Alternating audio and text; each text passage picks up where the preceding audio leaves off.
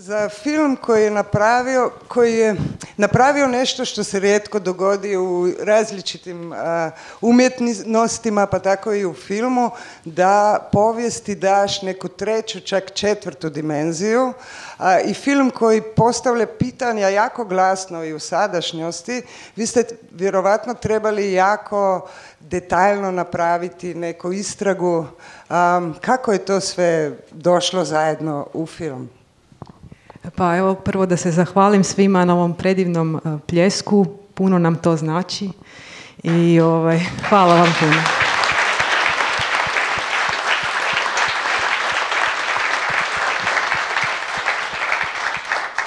Eto, to je nekako film posvećen svim onima koji se sjećaju drugog svjetskog rata ili koji su nekoga izgubili u tom ratu, ovaj, kao i svima onima koji pokušavaju mijenjati povijest da to ne čine. E, pa mislim da ne znam, uvijek mi je malo teško pričati, toliko sam sretna da su svi tu, inače ja da moram puno pričati o filmu i onda sam presretna kad su svi ovdje i tako bih rado e, da oni nešto kažu. Mislim da redatelj možda ili čovjek jednom u životu nađe tako veliku neispričanu priču tako je ova priča došla do mene 2010. godine i iako Dijana i ja nismo u rodu, sigurno je bilo presudno da se tako slično zovemo i tim putem je i ta knjiga došla do mene. Iako je već bila objavljena nekoliko godina, nije u javnosti pobudila nikakav interes. A kad sam je dobila, jer tadašnja uh, poznanica koja je radila u spomen području Jasenovac je isto mislila sam i nešto u rodu i pitala me kao da li nešto znam. Ja zaista nikada, nikada nisam čula za, uh, za Dijanu i kad sam pročitala taj dnevnik nekako bilo je nemoguće uh, ništa ne učiniti ovaj, sa tim. I naravno vidjela sam da je to nešto ogromno, uopće da film, kako film da prikaže nešto tako veliko, bilo bi dovoljan film o spašavanju jednog djeteta, a kamoli ne sad deset tisuća, kako to uopće ispričati. I otišla sam, dala sam tu knjigu producentici Miljenki Čogelji, da ona kaže, mi to uopće možemo, šta da s tim radimo? I ona isto rekla, ne znam, ali moramo to napraviti. I e, prvi nekako korak e, je bio ovaj, provesti zapravo povijesno istraživanje koje je trajalo tri godine, zato što smo znali da je to jedna beskrajno vrijedna priča, ali koja je povijesno neistražena. A u, okruženju u kojem mi živimo i u današnjoj Hrvatskoj, Srbiji i svim nekim političkim konotacijama i kako se uopće e, koristi drugi svjetski rat i jasen novac za neke političke bodove i obračune, morali smo biti sigurni da tako osjetljiva priča zaista ima svoje neko utemeljenje. I tako smo onda putem zapravo smišljali kako taj e, film i napraviti i svakako je to jedan jako dugačak proces, ali evo, sretna sam da je sretno završio. ti si ipak onda kao dokumentaristka odlučila napraviti igrano dokumentarni film, pa možda pitanje i za vas, glavne glumce. Film je pun tih tihih scena koje su ipak opako jake. Kako ste radili? Kako ste radili s Danom koji je dokumentaristica?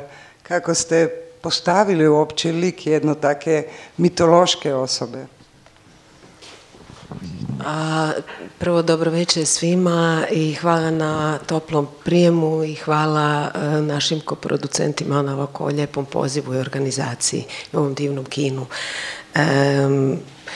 ovo što ste pitali, uh, ako sam zapamtila, ovaj, e, da je to bio možda i najteži problem što se tiče uh, razgovora Dane i mene i oko lika Dijane Budisavljević. Um, prvo, uopće mi je teško govoriti zapravo o kao nekoj ulozi, jer toliko toliko sam zadivljena tom ženom da se osjećam samo kao evo neko ko samo eh, ima tu čast eh, da zastupa filmskim jezikom jedno takvu, jednu takvu osobu kao što je bila Dijana Budisavljević.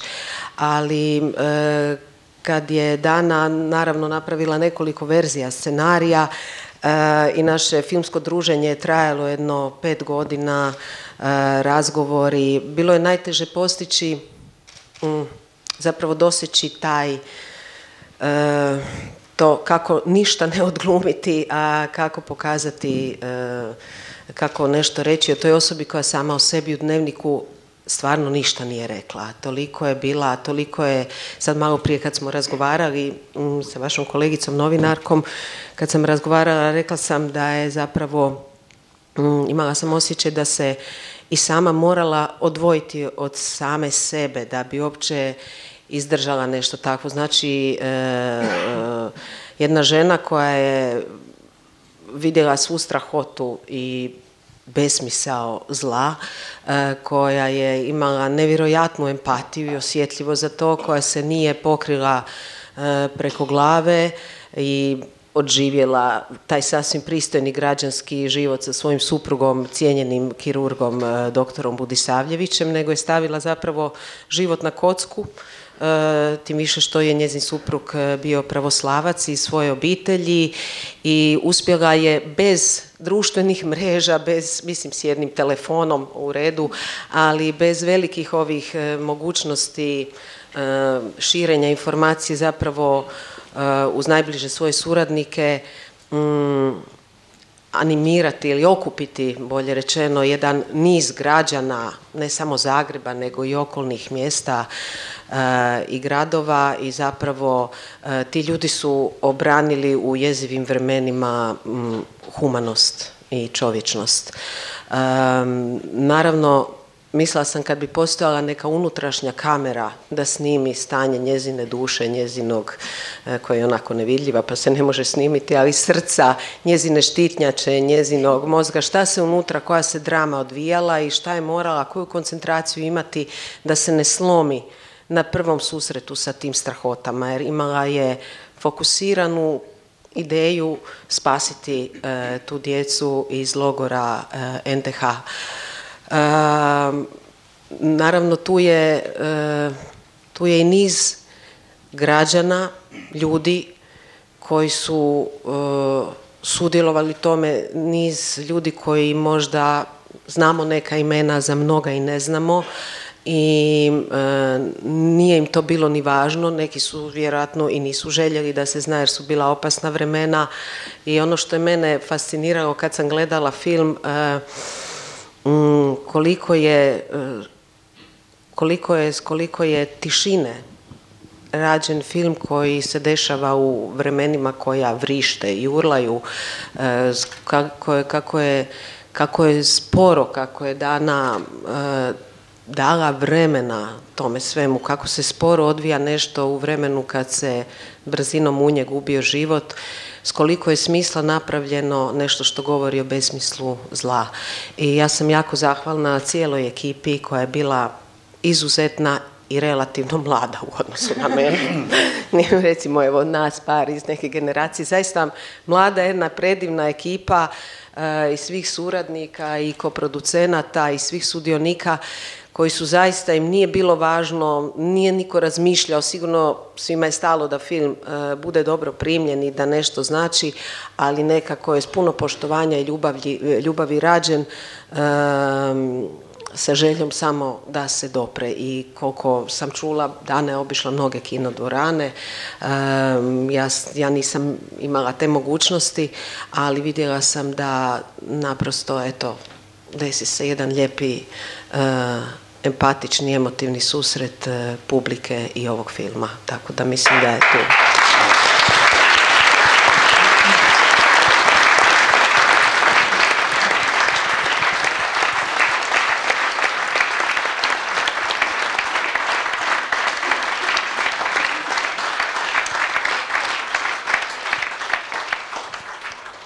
E, hvala, e, hvala vsem. Težko je tukaj še kaj dodati. Uh, jaz bi vseeno uh, nekaj poskušal. In sicer, uh, ko sem dobil to vabilo in prebral scenarij in se zavedal, uh, kako pomembni stvari bi lahko bil zraven, se sploh ni bilo več nobenega vprašanja. To so pač, to so pač zgodbe, filmi in zgodbe, no? pač, kjer pač moraš biti zraven, uh, ker se ti zdi to tako zelo pomembno. Ni pomemben niti filmski trak, niti uh, vse te stvari, ampak pomembna je ta zgodba, o, o kateri je uh, govora. Eh, pomembno je to reševanje, pomembna je ta katarza, ki je nujno potrebna za to, da sploh lahko živimo naprej. Mislim, to spoznavanje zgodovine in uh, učiti se iz nje, ne, to je recimo nekaj, kar je. Uh, ko, sem šel, ko sem šel na uh, prvo projekcijo uh, v Cankarjev dom, me je na tržnici ustavil en moški. In je rekel Igor Samobor, bla, bla, in sva se predstavila in je rekel, a mi lahko zrihtate kakšno karto za ta film, sem rekel, jaz tega ne morem, ne znam. Eh, in pa mi je povedal, da je sin ene od teh uh, rešenih, rešenih otrok. Gospa je bila že pokojna, ampak uh, to mi je dalo misliti, kako zelo je, uh, kako zelo smo na teh krajih, kako zelo smo povezani. Uh, kako zelo imamo neko isto istočnico za razmišljanje. In uh, tako kot je Dana to pogumno vzela neko zgodbo, ki je pravzaprav hotla biti pozabljena, ne? Kako je pogumno vzela in kako je uh, iz nje naredila uh, pač dejansko film, ki, ki sproži neke vrste, mislim, se tem, uh, vse te procese empatije uh, in seveda tudi katarze. Uh, uh, to se meni zdi fenomenalno. Prepričan sem, da so tudi pri nas zgodbe, ki so zelo podobne ali pa ne, ne, ne rabijo biti enake, ampak so podobne, ki, ki govorijo o tem, da bi mi tudi uh, morali doživeti neke vrste katarzo uh, ob, ob uh, uh, zato, da bi lahko živeli dalje, da se pač neke stvari uh, pravilno zložijo v naše, v naše spomine. In, uh, še ena taka mogoče malo anekdota. Uh, mislim, ko, smo, ko sem hodil v Zagreb na snemanje, je bilo it zjutraj, no, vse zgodaj, v, v družbo teh, kot si rekla, mladih ljudi, ki so bili polni entuzijazma nekaj prekrasnega. To nikoli ni bilo niti za sekundo težko in kome sem čakal za to, da se to zgodi. Strašno veliko smo posneli našega, eh, najnega, eh, najnega življenja. Cel, eh, cela TV drama bi lahko bila. Vse scene, ogromno tega. In pa mi je danes poročila enkrat, da je morala pač nekaj to tako po svoje. Jaz seveda kot vsak, uh, kot vsak igralec ne, sem bil, sem rekel, ok, že spet me je nekdo zrezal, ne, v redu, ne, sej pač naj delajo krčijo. Ampak, ko sem pa videl film, sem točno razumel, zakaj in sem zelo vesel, da se je to zgodilo. Uh, ja, vesel sem, da se je to zgodilo zaradi tega, ker nič drugega tukaj v tem filmu ni pomembno kot dejanje ki, je, uh, ki se je zgodilo. Se pravi, uh, in tudi prva, ko sem razmišljal o liku in ko sem pač bral, kolikor sem lahko bral, ko sem, uh, ko sem spoznaval to zgodbo, sem videl eno fotografijo družine, uh, ki si mi jo poslala, ne, eno fotografijo družine, ki je bila na počitnicah na morju to bilo par let pred začetkom vojne. Ne? In je, uh, gre za srečno, divjo, uh, uh, močno, polno energije življenja in vsega družino. In uh, ko pomisliš, kaj se je zgodilo čez nekaj časa, ne, ne tako zelo daleč za tem, ne, uh, je, je seveda uh, dovolj razloga, da razmišljaš, da, da je vojna in vse te stvari nekam, nekam čist mimo vsake, vsake logike. In uh, to res sem strašno vesel, da sem sodeloval in hvala ti za, za vse to.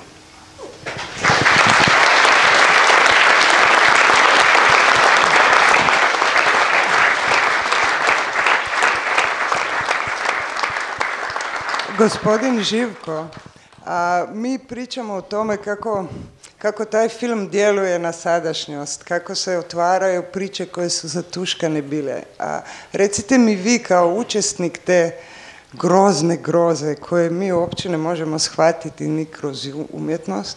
Da li vam se čini da može neki film, neki, neko umjetničko delo nešto da promijeni u sadašnjosti? Prvo, htio bih pozdraviti drage građanke i građani Slovenije.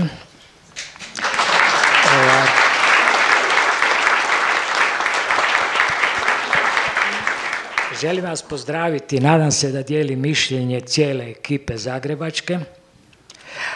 Ovaj, mi se tu osjećamo kak doma.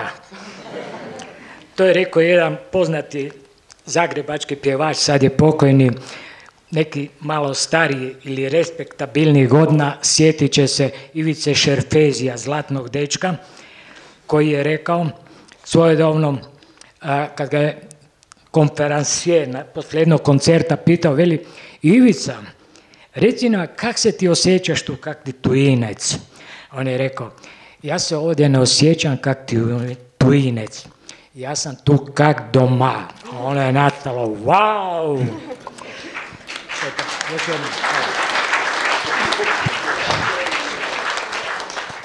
Gledajte, ovo je film koja je napravila jedna mlada ekipa,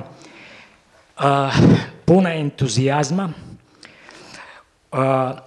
ja sam se priključio uz njih kao svjedok, ali tu nije provejavao nikakvi profit.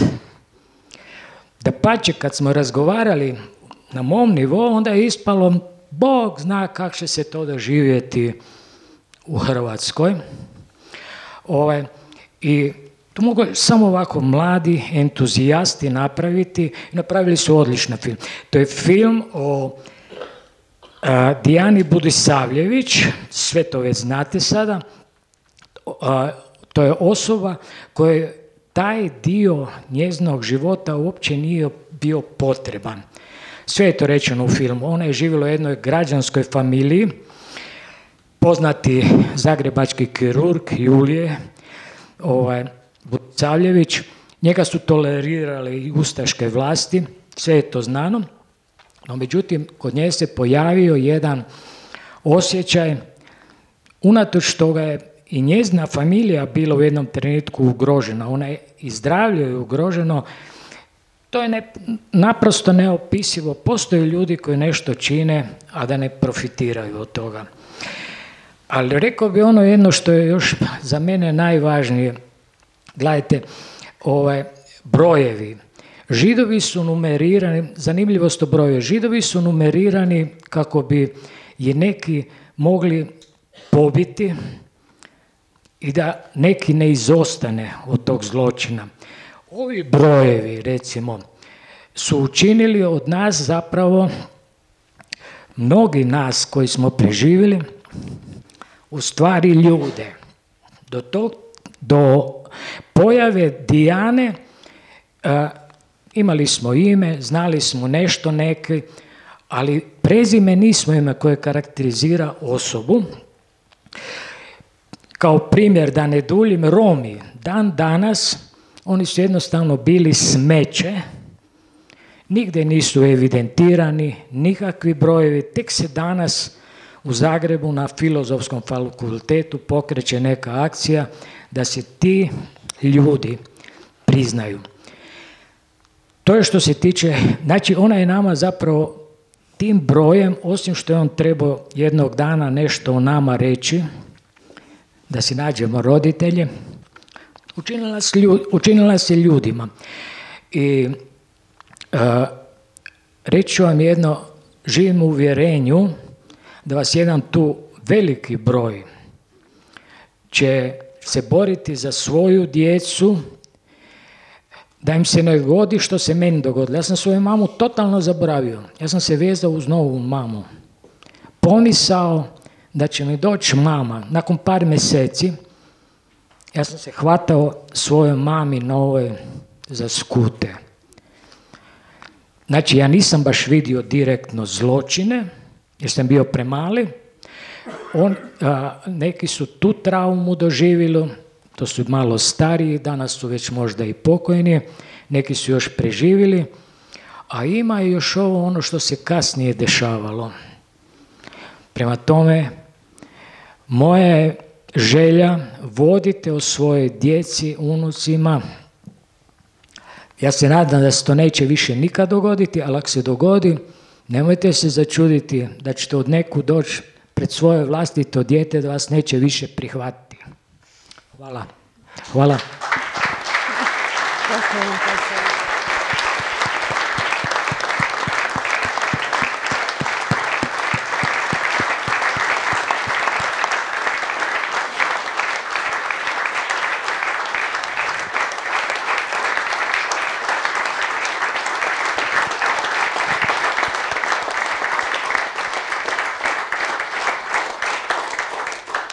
Bi mogoče kdo iz publike kaj vprašal, lepo prosim. Dobro večer. Najprej čestitke gospodana, e, čestitke seveda vsej ekipi. To je bilo eno grozno, ogromno delo, ogromno prizadevanje. In grem posledi vaše izjave oziroma prošnje v nebo upijoče, prosite tiste, ki potvarjajo zgodovino, naj vendar tega ne počnejo. Eh, govorim slovensko, zato ker bi rada slovenskemu občestvu predstavila to, kar vi, gospa Dana, zelo dobro poznate. Namreč takoj po Puli, po festivalu, je Hrvaški tednik glasilo skrajne hrvaške desnice pisal Pula, Pula naj te bo sram. Zlatna arena je šla v roke izmišljene zgodbe o Dijani Budisavljevič, skratka filmu v službi četniške propagande. E, žal ne vidim tukaj dobro, ker je svetloba slaba, ampak se bom še potrudila. In potem, e, čeprav avtor, novinar e, filma niti ni videl, jaz kot nekdanja novinarka sem zgrožena nad tem, ne, si on dovoli uh, sarkazem brez primere in pravi, še ne vemo, ali je Diana iz strašnih ustaških logorjev smrti nosila enega otroka za drugim, ne, po možnosti tedaj, ko je Max Luborič zadremal, torej ta znavni krvnik, ne, ali je vseh deset tisoč otrok naenkrat naprtila na hrbet in iznesla ven. Potem je pa drugo grozno vprašanje, ampak o tem ne bom toliko govorila, češ, zakaj ste vi rabili deset let. Mislim, da se zelo fino vidi, zakaj ste rabili deset let. In zakaj je ta film tako zelo temeljit. Uh, sploh pa ne vem, to ni pomembno, koliko časa ste vi rabili za to, da ste naredili tak film. Uh, ta revija omenja tudi tako imenovani trač, češ da ta, eh, pa če že ena kvaternikova, da ni, eh, da se ni eh, naredila samomora in da ona sploh ni bila judinja. Ampak jaz mislim, da to film pokaže, da je trač, ne? ker ta gospa, ko ta gospod to razlaga, ta ustaški, ne, se ona obrne in reče, ah ne bomo o tem, kje si pa to zvedel. Tako sem jaz razumela, da ne, iz filma. Ni bilo tako. Ja razumijem slovenski, ali kad je tako nešto specifično, ne, e, ne znam sad točno što ste Ok, film govori o traču. O traču, dobro. O kvaterniku i o aha, toj, aha, da. Aha, aha, da je ona napravila samoubistvo i to je, to je na kraju krajeva da ona nije ovaj, ni bila jevrejka. Je li to tako bilo? Ne, ona je bila jevrejka i napravila je samoubojstvo. E, evo vidite, da. Znači nije bio trač, nego je to istinito u filmu. Sad bi možda samo problematizirala, već kad govorimo, tih deset hiljada... Možda ovaj, vi nastaviti na slovenščini, ja samo... Tih, teh deset tisoč, meni je vseeno, uh, teh deset tisoč ljudi, um, ker imam hrvaške gene, srpske hrvaške gene, še hujše, uh, če, bi, če bi bila rojena malo prej, eh, bi bila med temi otroki, ne, kot uh, otrok pravoslavnih staršev ne, oziroma Srbov. Ne. No, ampak to ni važno. Uh, kje ste dobili to številko deset tisoč? Samo to mi je bilo iz filma pretresljivo, čisto na koncu. I možda mi ono na kraju mi je bio taj prelaz, iako ja znam toliko povijest, ja ipak sam, imam više od 70 godina, jel? Ovaj, taj prelaz na tu novu vlast mi je neko, nekako, taj prelaz mi je bio filmski malo prebrz. To baš nisam nekako mogla da, da skužim. I sad samo još kraj, e, pošto govorimo o sarkazmu tjednika, jer po njemu naravno znatno arenu ne bi trebao da dobije vaš film, nego film e, Vrdoljaka o generalu Gotovini. Ali pustimo to. Sada ću pročitati samo ovo, gdje se relativizira istina i krivica, a to se događa u Sloveniji, jer i mi imamo svoju bijelu plavu gardu, imamo i mi svoje ustaše ili da kažem i partizane. I sad ću pročitati ovo na kraju, pa vas molim za komentar. Kao, zašto ste trebali ono deset godina, to sam rekla, dovoljno je tri, četiri mjeseca ići na internet i sve se zna. I treba imati bistru glavu i sve skužiš i možeš napraviti film. A sad ću samo pročitati ovaj kraj. I pročitati na hrvatskom ipak, da se ne mučim uz ovo svjetlo. Lako je saznati o angažmanu Crvenog križa, Karitasa, crkvenih katoličkih redova, pravoslavnih predstavnika vlasti NDH, o hrvatskim obiteljima koje su udomile djecu, među kojima je bilo i domobranskih časnika i ustaških pukovnika. Znači i domobranski časnici i ustaški pukovnici su posvajali to djecu. I sve to javno uznanje i odobravanje vlasti NDH. Ne spadaju li i oni u najbolje ljude u najgorim vremenima, jer to je kao bila, e, to je bila ta relativizacija, tako karakteristična za e, zagovornike NDH. Dobro, hvala vam na, na ovom izlaganju. Naravno da ja poznam taj tekst, to nije bio jedini. Jedno vrijeme svaki tjedan je izlazio jedan članak o, da, zapravo i odmah uz Pulu i čak uvijek su govorili da nisu film niti gledali. E, mislim da sam jednom bila i na naslovnici, poslije su mi još počitnuli da sam i lezbika i srpkinja i ne znam, svašta, svašta. Da, svo zlo, evo, sve sam, sve sam, sve mogu biti. Ovaj, takvih reakcija je zaista bilo E, međutim, ono što bi vam htjela reći, što je nas sve vodilo, e, zapravo to kako je, to je ta Dijanina snaga. Znači da smo mi odlučili trošiti snagu i svađati se sa tim ljudima, mi ništa ne bi napravili. Znači, Dijanina snaga je bila u tome da u svemu tome zlom traži onu neku česticu dobra za kojih se može uhvatiti. I ja sam često znala reći da nismo deset godina radili film zato što smo se inspirirali ustaškim zločinima, nego zato što nas je držala Dijana i, i njena akcija. Uh,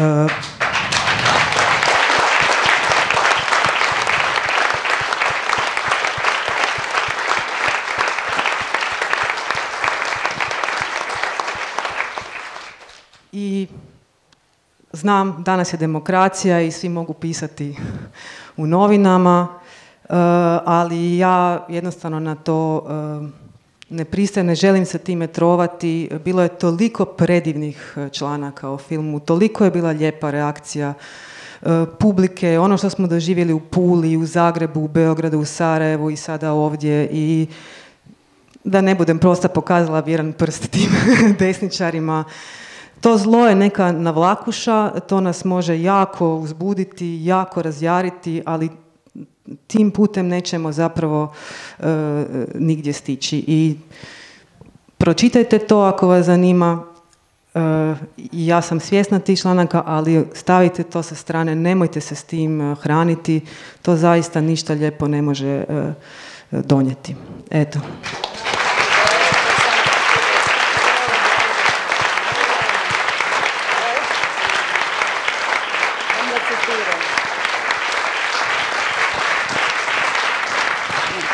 Pa evo, dozvolite, sada je nedavno bila, bio dan posvećen uh, holokaustu i svim strahotama. Pa su baš citirali Eisenhowera koji je rekao kad su se oslobađali oni rijetki preživjeli po logorima smrti u Njemačkoj je rekao je snimajte, snimajte. Jer doći će dan kada će neki kurvin sin reći da to nije bila istina. I zato je ovaj film isto tako važan.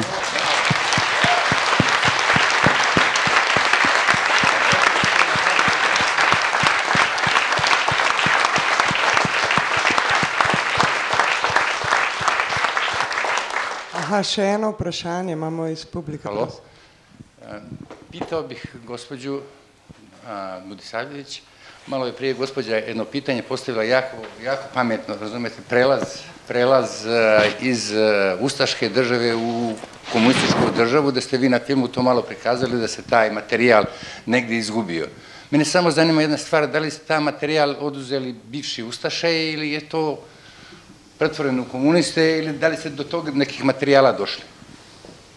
Moram priznati da ne razumijem. Znači, film... Uh, ja, aha, kartoteku. A, što se desilo s kartotekom? Ja. Aha, aha, to, to, to nisam razumjela.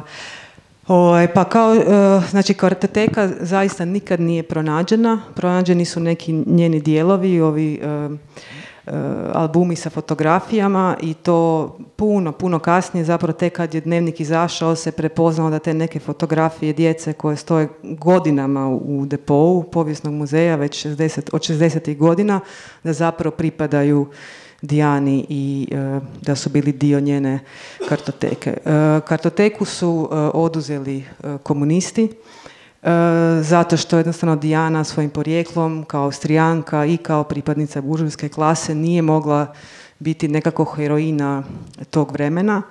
Ona nije ubijena, ali izbrisana iz, iz povijesti i ta cijela akcija spašavanja je nekako pripisana zapravo komunističkoj e, partiji, e, čak i ne jednoj pojedinoj osobi, znači niko se tim nije osobno okitio, ali jednostavno morala je preći e, u zasluge komunističke partije jer to je nešto što je na našim prostorima jako često i ponavlja se da svako ko dođe kao pobjednik piše uvijek povijest iz nule i sve mora početi od njih i oni sve najbolje znaju. To je po meni nažalost i grijeh e, komunističke partije, iako sam potpuno na strani partizana i pobjede u drugom svjetskom ratu i antifašista, ali evo, to je nažalost dio naše povijesti gdje oni zaista nisu u toj prilici odigrali baš uh, slavnu ulogu zbog čega su mnoga mala djeca koja nisu znala svoja imena kao što je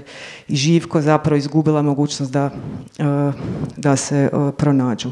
Znači, sigurno će se stari građani sjetiti e, pojma kozaračke djece, Znači, znalo se za tu djecu koja su bila u logoru, nije to sve bilo prešućeno, ali ono što se nije znalo je kako je zapravo do toga došlo, ko je tu akciju pokrenuo i kako se to sve ovaj, skupa izdogađalo. I to je ono što film zapravo donosi.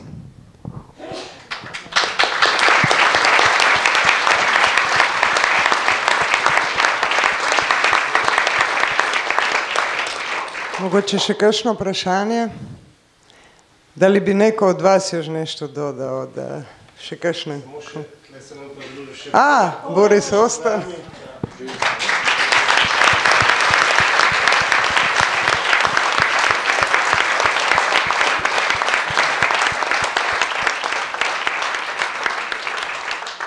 Jaz bi se... Možda Jerko, ti si prvi put gledao. Evo, tu je s nama danas, odnosno večeras Jerko, koji zbog niza razloga je tek danas prvi put pogledao film, pa bi mene recimo zanimalo šta on misli.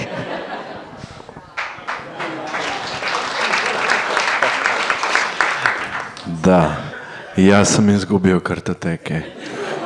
Um, i, I to su ti ljudi koji gube kartoteke, koji su dio svih sistema ne, ne vidimo ih, ali su tu.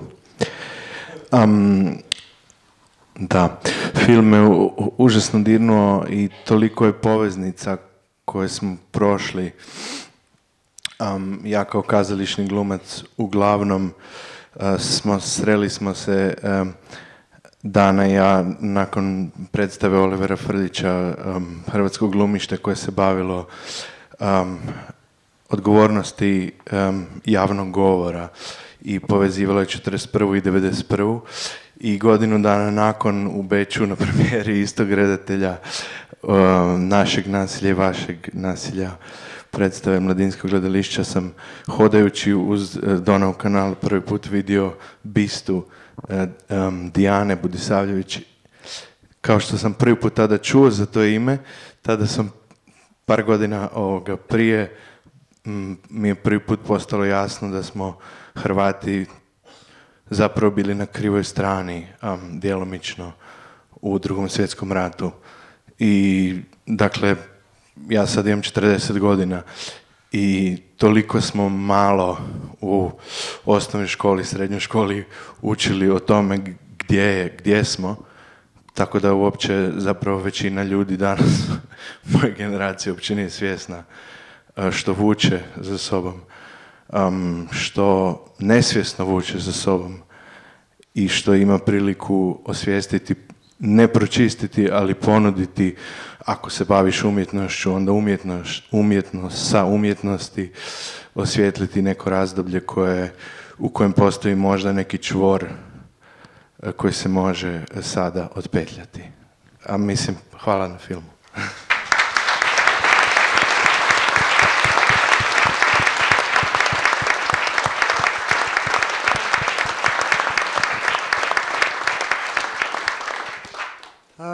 Potem bi vas vse povabila, da mogoče se z ekipo pogovorite še iz oči v oči v predverju na pogostitvi.